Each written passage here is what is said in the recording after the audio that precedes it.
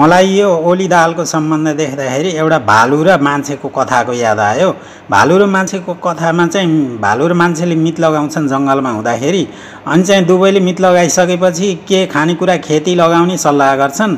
मान्छे बाठो भएकोले आफ्नो स्वार्थको लागि चाहिँ भालुलाई पहिल्यै जमिन मुनिको रोज्ने कि जमिन माथिको रोज्ने भनेर चाहिँ रोजायो। अनि भालुले जमिन मुनि पनि के फल्ला र भने जमिन माथिको रोज्यो। अनि चाहिँ मान्छेको पालो चाहिँ आलु लगाइदियो।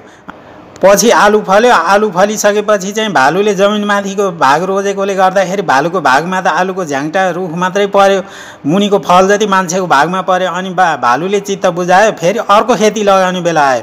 फेरि पनि मान्छेले भालुलाई नै रोजायो अनि भालुले बुद्धि पुर्याएर चाहिँ जमिन मुनिको रोज्ने भनेर रोज्यो।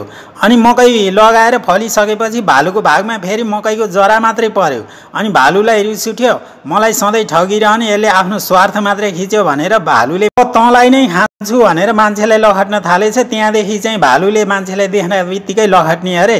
यो कथामा चाहिँ त्यो मान्छे भनेको चाहिँ ओली परेछन् र भालु चाहिँ प्रचण्ड परेको छन्।